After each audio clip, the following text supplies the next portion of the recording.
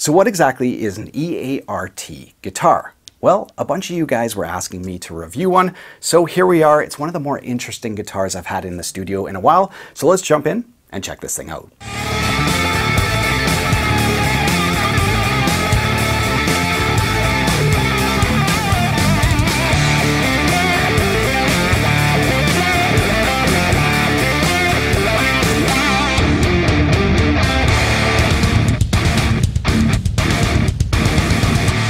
Welcome back to the channel. I hope you guys are having a great day today. Well, we've got a subscriber requested review in the studio here. Actually, a bunch of you guys kept asking me, Darrell, can you check out these EART guitars? Now, I'd never heard of them before, but I headed over to Amazon and you know, at first look, it just sort of seemed like another overseas company making, you know, their version of famous guitars. And I was like, well, do I want to look at this thing or not? But I looked a little closer and it turns out like they put stainless steel frets on all their entry level guitars, something I've never seen before. And they all have roasted maple necks. So I was like, okay, well, this is getting a little more interesting. So I went ahead and ordered one and I figured, well, if I'm gonna see what these EART guitars are all about, let's see what they can do with like a semi-hollow. I figure any company can kind of slap out, you know, a Strat style guitar or a Tele, uh, but what about a semi-hollow? I think that might tell me a little bit more about this company than, uh, you know, just a solid body guitar. So here we are with the EART E335. Let's jump in and check this thing out. Right, now this guitar is a little confusing. I know in my mind where it should fit in with the market, with the other guitars in its price range, and I've featured a lot of, you know, 335 clones on this channel. A couple Fireflies, uh, Indio Boardwalk, uh, Harley Benton, I think it's the HB35, and now the EART. So I know in my mind where this guitar should fit in with the others. The Firefly are kind of like the really affordable entry, you know, great value guitars. Uh, Indio Boardwalk is a step up. Harley Benton is another step up. Now this EART is another step up. So this guitar retails for, I think it was three 389 US, I think, so just under 400 bucks. So it's sitting above the Harley Benton and still I think about 150 bucks cheaper than like an, an Epiphone or something like that. So I know in my mind where this should sit in the price tier. The problem is when I go to play it. So the problem lies with my left hand. As soon as I start playing this guitar, it's telling my brain you're playing a very expensive guitar, a 2,000, a $3,000 guitar. But my brain knows that's not true and it's very confusing. So yes, we're going to talk about the fretwork here uh, and really this is one of the reasons why I decided to feature it on the channel because it does have stainless steel frets. So let's dive in and talk about that because that is one of the biggest deals of this EART guitar. So this guitar has some of the nicest fretwork I've played on any guitar like ever, which is an insane statement, I know, but it's true. It blows away anything I've ever played on a Gibson, on a PRS, on a Fender. Um, yeah, it's insane. So let's take a closer look at that and we'll actually do a little comparison between this very, very expensive Gibson and this relatively cheap EART guitar. So anyway, when we look at the front face of the frets, you can see they're crazy shiny, they're beaming. So sliding, vibrato, bending, all of that on this guitar is beautiful. It's just straight out of the box. You don't have to do anything. And when we talk about like the Harley Bentons, the the Boardwalk, the Firefly, all of them were very gritty on the front face and needed to be polished or, or played in. None of that here. It's just ready to go and beautiful. And when we look at the fret ends, it gets even more crazy. So when we zoom in, you can see how rounded off they are. Um, a fret treatment I've only really seen, I think, on Ibanez guitars.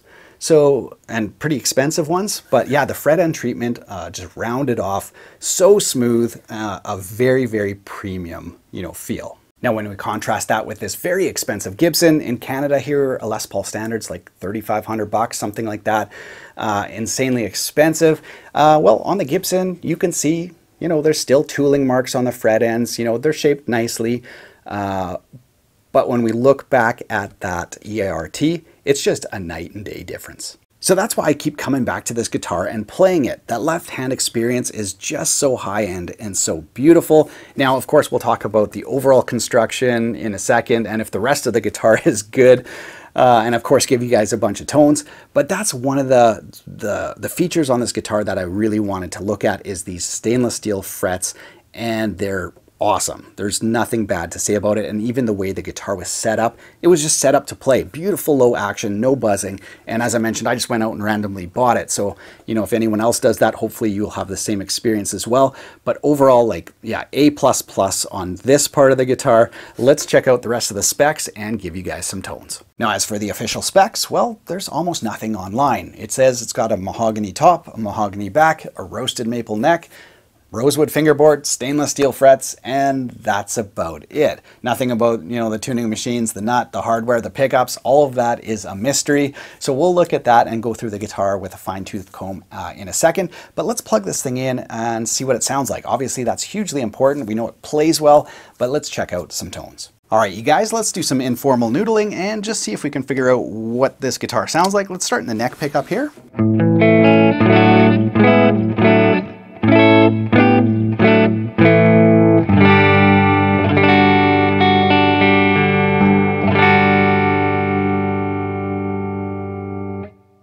Right away I'm noticing good string to string volume. There's no string that's like louder than the other, so a great balance.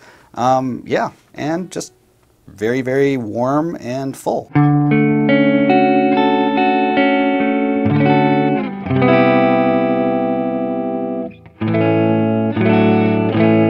Let's try this tone control. I'm going to just back it off a little bit here.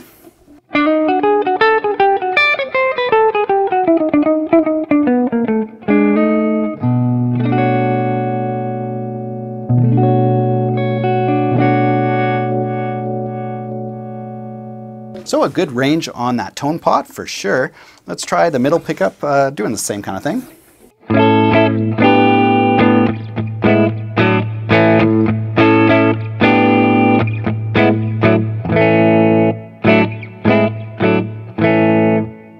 Again, really nice and balanced. Let's try the bridge, see if it's uh, super powerful and honky or if it's got just nice chime. Here we go.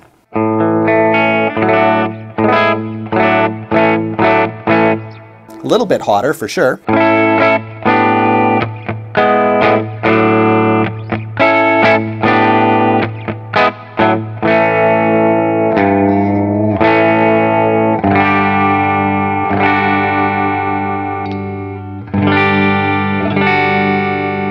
yeah, overall great sounding pickups. Let's add a little bit of boost here. I'm going to stay on channel one. I'm playing through my Mezzabarba, so we'll just boost channel one here. Thank you.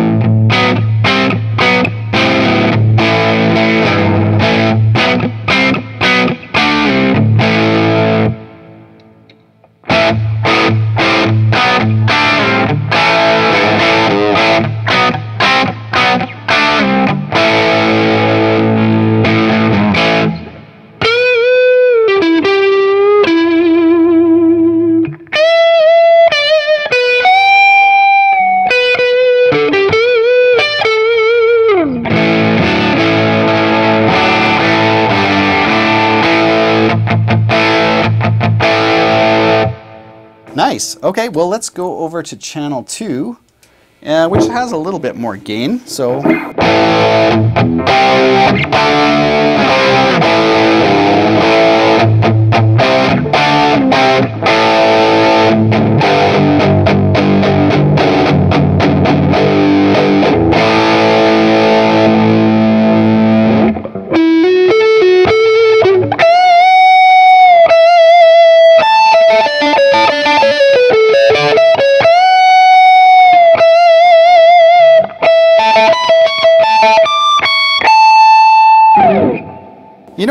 Good sustain and ringing out right up here at the very, very top. Lots of guitars kind of die out there or you don't get, you know, clear, clean and clear tones up there. Uh, so overall, pretty great. Let's go over to channel three and maybe just do some chugging. We better go right to the, the bridge pickup there. Now right away it's not feeding back and it doesn't seem too microphonic or whatever. Uh, some of the Fireflies guitars I think uh, spoke too soon, maybe it's about to feed back. anyway, some of the Firefly guitars had trouble with being microphonic. This one doesn't seem to be too bad that way, and we got quite a bit of gain here.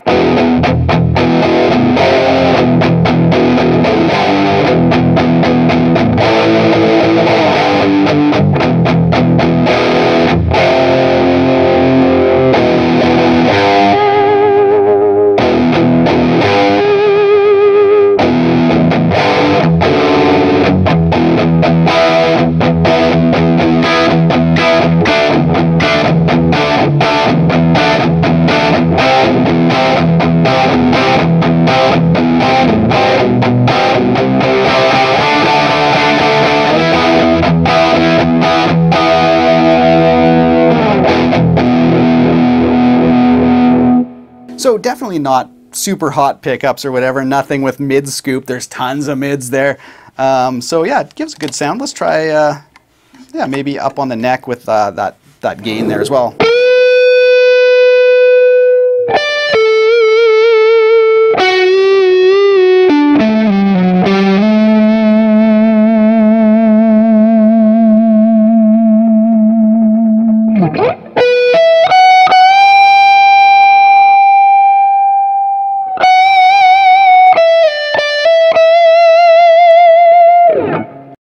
I mean, not much to complain about when it comes to the tones on this guitar. Certainly on par with, uh, I think of the three brands like the Firefly, the Indio, the Harley Benton. I mean, I had some issues with all of those guitars, um, but I think I like the pickups the best on the Harley Benton, and I think these ones are on par with those at least. So um, I don't think you're going to struggle getting some good balanced tones, some creamy leads, um, some jazzy tones, and you know even some some okay-ish high gain tones. But I think you'd really want to scoop out your amp because these pickups uh, definitely are like kind of more fuller traditional style pickups. So yeah, overall, pretty impressed with the tones. So nothing weird with the pickups or the electronics. Everything functions as it should. Uh, the three-way switch doesn't feel amazing but it gets the job done. We actually have full-size pots under here too, which is great. I can't see the brand, but I can see that they're full size, so that is great. Now, the first thing I wanted to do when talking about like the overall construction or the overall picture of this guitar was throw it on the scale, because this guitar feels very, very light but I wasn't quite prepared for this. I threw it up there and it's just over six pounds. It's like 6.2 pounds. That's phenomenal.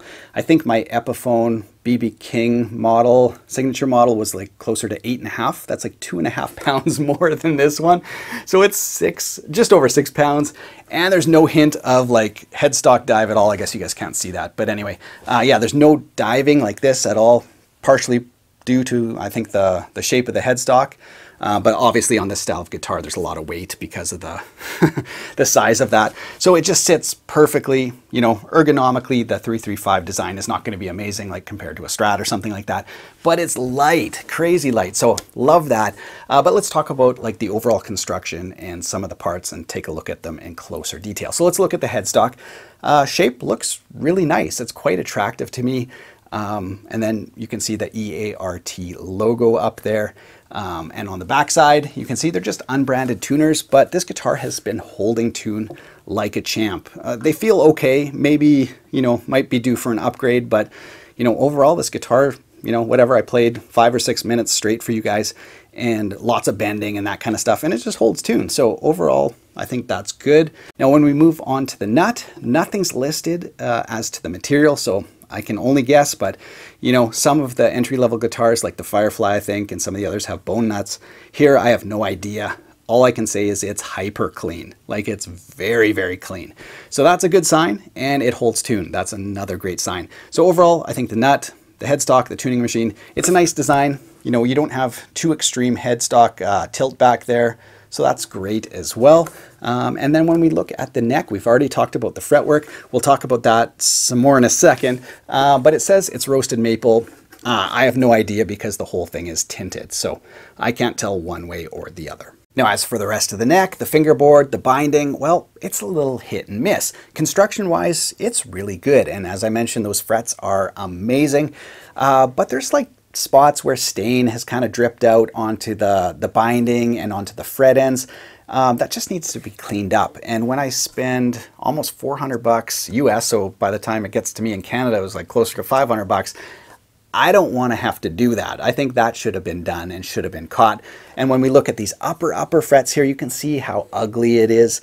Um, number one, the fret ends way up high are still sublime. I gotta say that. Like all those fret ends just kill. They're so awesome uh, but they're ugly. Like that stain should have been removed. So uh, a little bit of a hit and miss, and some of the same things that I went through with like, yeah, the Harley Benton, the Boardwalk, the Firefly. Same kind of stuff that you kind of wish wasn't on this guitar because it is more expensive than the others. Um, so yeah, that is what it is. Now in terms of, um, yeah, the rest of the stuff looks really good. Even the way the posts are attached to the body, sometimes even on Epiphones you'll see like these back posts tilting forward or popping up or doing this or that. None of that here. It just looks really good and really well made. Uh, when we look at the F-hole binding, super nice again. Um, and on some of these guitars, again, it's been hit and miss where that binding is just super ugly on a on like a beautiful guitar. Um, and happy to say here, uh, on both sides, very, very clean. And overall, the binding is quite nice on this. There's no, you know, on the body itself, there's no stain or there's no discoloration or anything like that. Uh, just on the neck there, I think they must have been staining the fingerboard or doing something. I don't know. But uh, yeah, overall, the rest of it is pretty good. Now, I should mention something that you cannot see on the on Amazon or any of the pictures is the the finish on this body is an open pore finish. And I've seen that on a few guitars.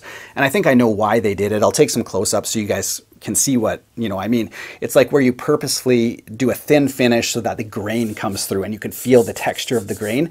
And I think that's just to give this guitar sort of a vintage flair, right?